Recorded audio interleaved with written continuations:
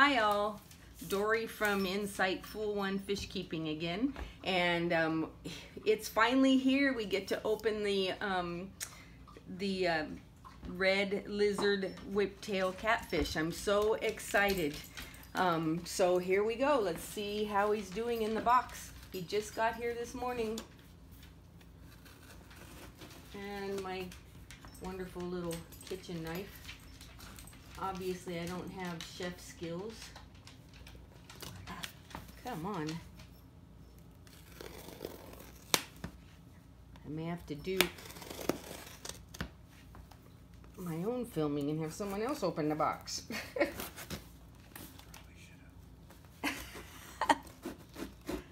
I'm so excited. I can't wait. He's been a long time in the mail. He was shipped on Monday and he just got here on Friday. Oh, look at that. Nice soft, like, paper insulation here. So he should have stayed a nice temperature. And no heat pack, probably because it's been so hot it wouldn't have been required. Here he is. Here he is. And he's alive. Look at that. Can you see him in there? Did I squish him? There he is. Where? Oh, he's little.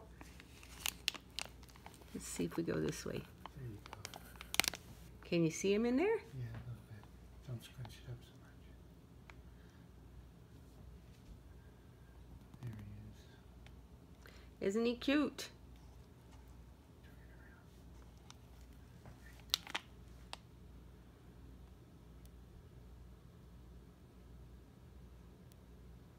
He's pretty active, so he's doing pretty good.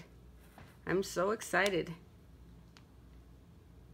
All right, I'm gonna set him down and we're gonna look in here and see if there's acclimation instructions or if I have to look on the internet for those. Oh, I'll have to look on the internet for those. Awesome. Okay. All right. So that's it. That's the unboxing. This little um, catfish came from Imperial Tropicals. And um, I want to thank them for getting him here safe and sound and alive.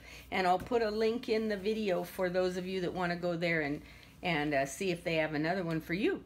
All right. Thank you. I'm out. Bye.